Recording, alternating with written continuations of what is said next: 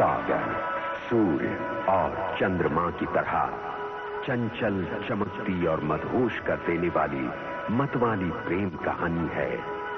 चंद्रकांता एक इंतकामी, दहकती प्रेम कहानी है। चंद्रकांता, सुलगती हैरत अंगेज प्रेम कहानी है। ये चंद्रकांता चुनारगढ़ के राजमहल में धधकते इंतकामी ज्वालामुखी को कौन रोक सकता है? इस इंतकाम के माहौल में महाराज शिवदत्त अंबा से महारानी कलावती के बहते खून का लेते हैं गिन गिन कर हिसाब। लेकिन अंबा के कातिलाना बाग के मनहूस साय के अंधेरे में अब भी तड़प रही है महारानी कलावती। इल्म और हिकमत हो चुके हैं लाचार। आदमी के अख्तियार से सारे इल्म और इलाज खत्म हो जाते हैं तो केवल इबादत और प्रार्थना ही प्रार्थना हाँ महाराज। शिवदत्त ने आज तक किसी भी मंदिर के दहलीज पर कदम नहीं रखा है। और शिवदत्त का ये सर किसी भी देवी या देवता के सामने आज तक नहीं चुका लेकिन हालात ने महाराज को महारानी की खातिर उनके प्यार की खातिर मजबूर किया। उठाने पर वो अविश्वसनीय कदम। आया हूँ सवाली बन के देख मैं यहाँ। आज ये पुकारती है तुझको आत्मा। तू अगर है सत्य तेरी शक्ति है महान उस बुझती हुई लौ को आज दे दे प्राणदान। उस बुझती हुई लौ को आज दे दे प्राणदान। देवी माँ वरदान प्रदान करने से पहले महाराज की आस्था की बुनियाद की लेती है कड़ी परीक्षा। परीक्षा में महाराज जैसे कोई उत्तीर्ण वैसे ही करुणामयी माँ अपने त्रिशूल से करती है उनकी रक्षा। लेकिन महाराज शिवदत्त को अब भी इंतज़ार है अपनी प्रार्थना के जवाब का। शिवदत्त इस चौकट से जाने वाला नहीं। हे देवी माँ शिवदत्त को जवाब दे शिवदत्त को जवाब दे। तभी हुआ एक चमत्कार एक दैविक करिश्मा। जवाब में माँ ने दिया वरदान अपने आशीर्वाद का। इस चमत्कार से महाराज शिवदत्त के नास्तिक विचारों में हुआ आमूल परिवर्तन। कलावती की सुरक्षा का आशीर्वाद देकर तुमने तुमने शिवदत्त को एक नास्तिक से आस्तिक बना दिया है।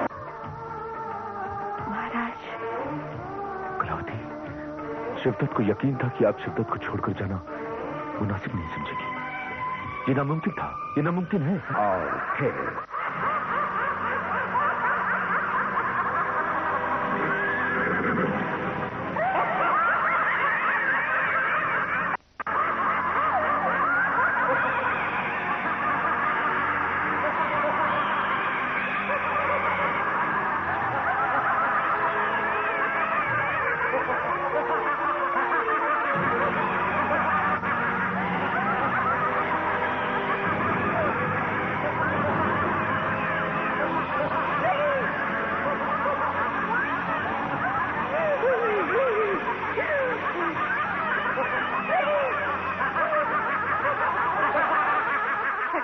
मछली को मार कर भी तुझे चैन नहीं मिलेगा, तारा। तूने सबको बहुत तड़पाया। इसीलिए तू भी इसी की तरह छटपटाती रहेगी। तू भी मुझ विराडा की तरह हार गई। तेरी हत्या करके तुझे क्या मिला? नाकामी तेरा हश्र है, तारा। नाकामी ही हासिल होगी मेरी नाकामयाबी के लिए खंजर मार के मुझे बहुत का सिला दिया है। तू तो पूरी तरह खत्म हो चुकी है, तारा। तू अब खुदकुशी कर ले। तारा, अब तू खुदकुशी कर ले। तू पूरी तरह नाकामयाब हो गई है। पूरी तरह नाकामयाब।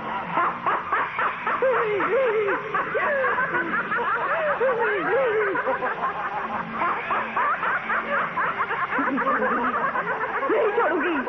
मैं तुम सब मुझे को मार डालूँगी मार डालूँगी तुम सबको छोड़ूँगी। हार गई है तारा। तू बात खा गई तारा तू बात खा गई। तुझे हारना था तू हार गई। हार गई तारा।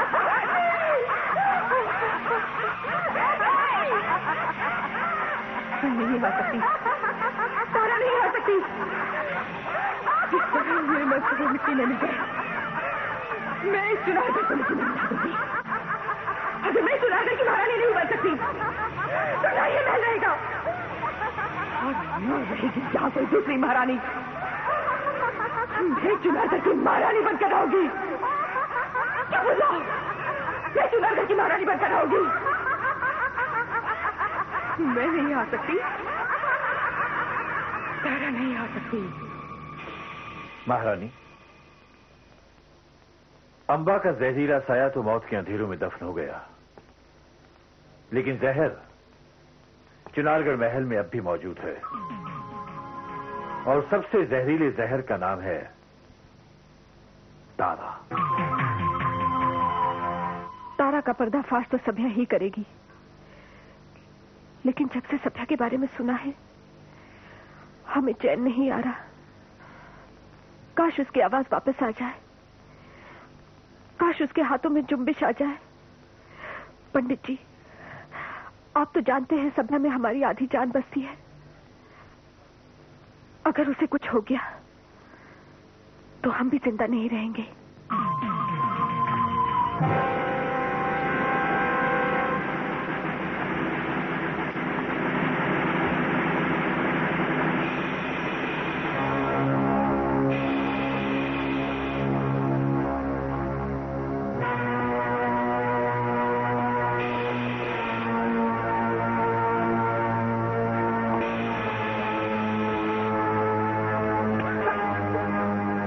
मैं एक तीर से दो शिकार करूँगी।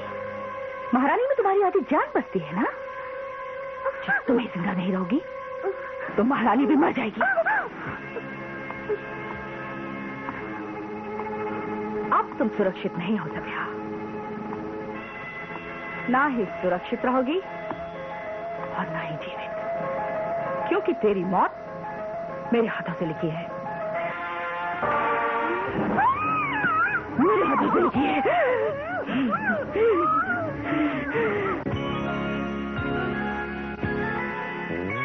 चंद्रकांता की कहानी, ये माना है पुरानी।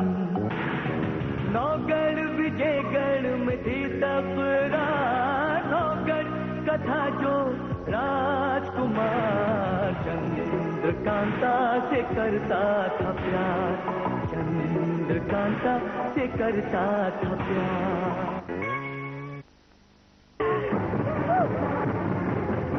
मैं तुझे ज़िंदा ही नहीं छोड़ूँगी।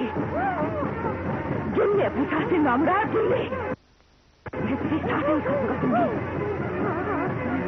जिससे तेरी आवाज़ हमेशा के लिए दफन हो जाए। सभ्या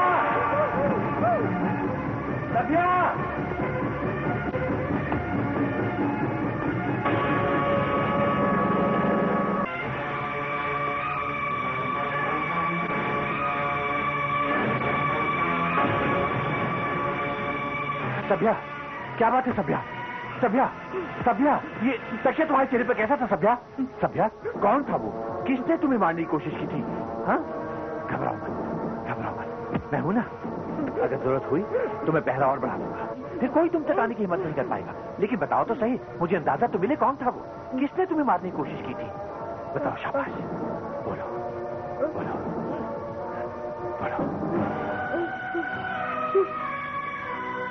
ये बेचारी तो बोल भी नहीं सकती।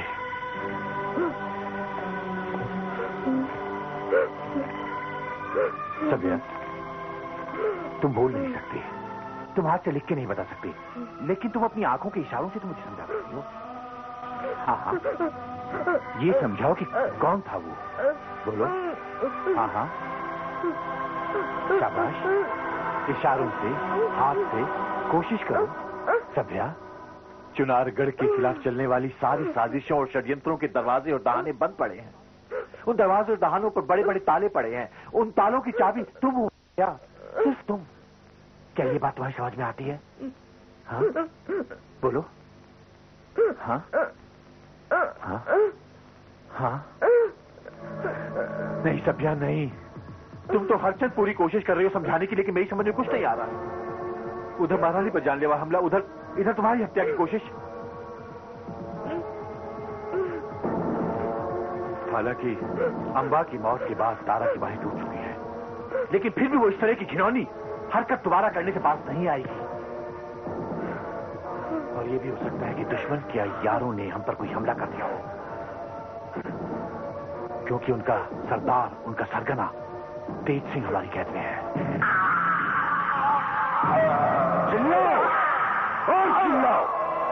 लेकिन तुम्हारी ये दर्दनाक चीखो पुकार शिवदत्त के सुनारगढ़ में कुछ सुनने वाला नहीं है, तेज सिंह।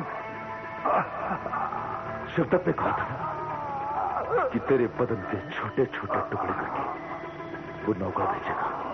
और ये नहीं।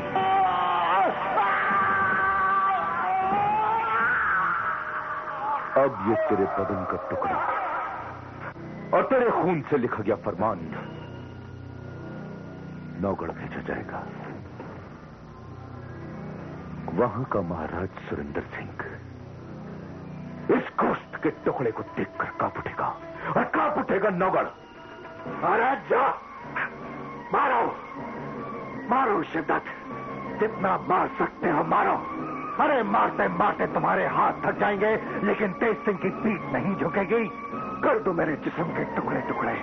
बहा दो कतरा कतरा करके मेरा लहू लेकिन तेज सिंह अपने महाराज सुरेंद्र सिंह को अपने लहू से फरमान कभी नहीं लिखेगा कभी नहीं। हाँ, हाँ, तुम्हारी ये ज़रूरत कि तुम शिवदत्त की आँखों में आँखें डालकर ऊँची आवाज़ में बोलने की हिम्मत रखते हो। गुरु इसे इतना मारो। इतना मारो कि आज के बाद कभी आँख उठाकर देख न सके। कभी ऊँची आवाज़ में बोल सके।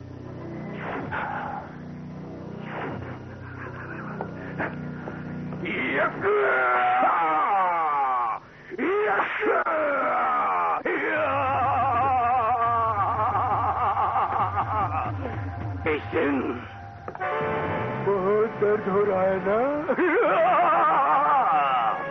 बहुत नाज है तुझे अपनी फौलादी जिस्म पे। लेकिन अब ये तुम्हारा फौलादी जिस्म मुँह बन कर पिघल जाएगा। यक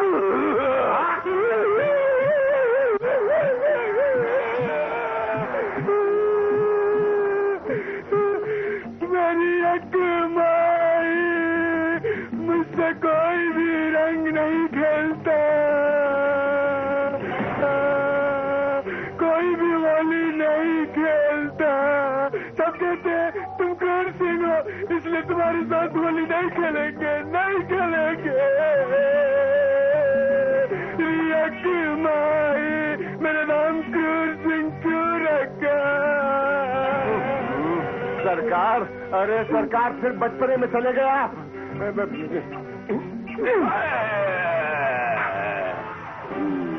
सिंह एक तुम वही तेज सिंह हो ना, जिसने मेरी चंद्रकांता को मेरी गिरफ्त से छुड़ा लिया था। तेज सिंह, तुमने महाराजा जय सिंह के दिमाग में मेरे खिलाफ जहर भरा। और क्रूर सिंह, जो विजयगढ़ का महाराजा बनने वाला था, एक बागी बनकर वहाँ से भाग निकला। सिर्फ़ तुम्हारी वजह से शिवदत्त ने तुम्हारे जिस्म का सिर्फ़ एक टुकड़ा काटा है। मैं तो तुम्हारा गला ही काट दूँगा।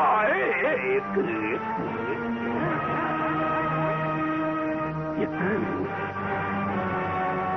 तावीज ये तावीज तुम्हारे गले में। केतकी केतकी को मैं कैसे भूल सकता हूँ? बहुत खूब बहुत खूब उधर मेरी राजकुमारी चंद्रकांता। नौगढ़ के राजकुमार वीरेंद्र विक्रम से प्रेम कर रही है। और इधर वीरेंद्र विक्रम का अयार तेज सिंह, राजकुमारी चंद्रकांता की अयारनी केतकी से प्रेम कर रहा है। बहुत खूब बहुत खूब। क्या खूब है ये प्रेम कहानी? यक। लेकिन अफसोस इस प्रेम कहानी का अंत बहुत ही दर्दनाक होगा। सिंह क्योंकि तुम दोनों को क्रूर सिंह के हाथों मरना है। यक। यक। देखी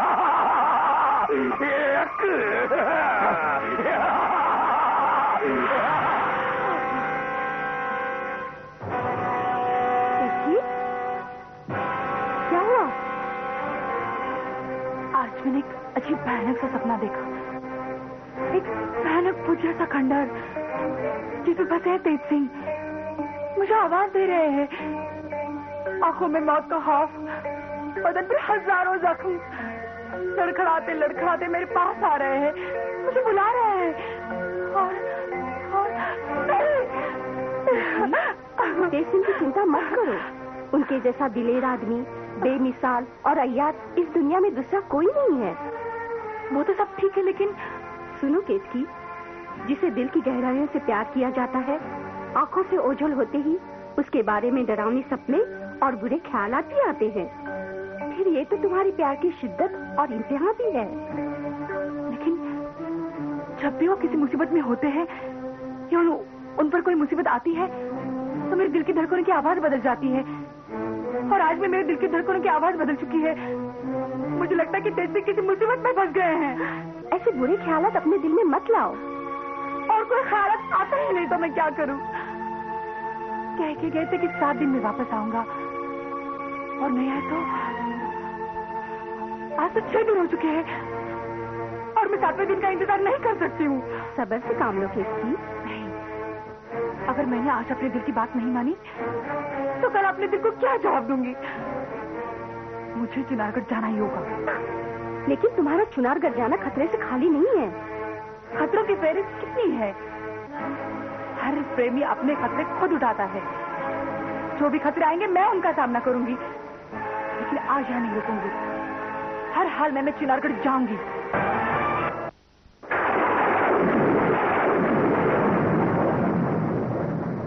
पंडित जगन्नाथ जी अंदर हैं। मैं उनके लिए संदेश लाया हूँ। उनका कक्ष कहाँ? है? जी आगे है। फरकाना पंडित जगन्नाथ के लिए? ठहरो।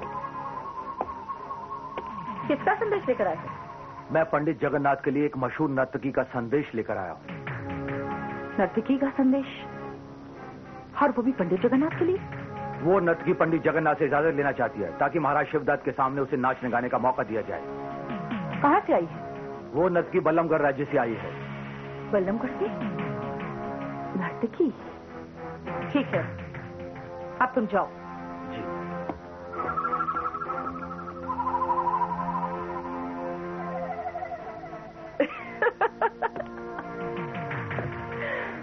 भाई वाह तारा वाह। तेरा नसीब तो बहुत बुलंदी पर है। नर्तकी और वो भी बल्लमगढ़ से।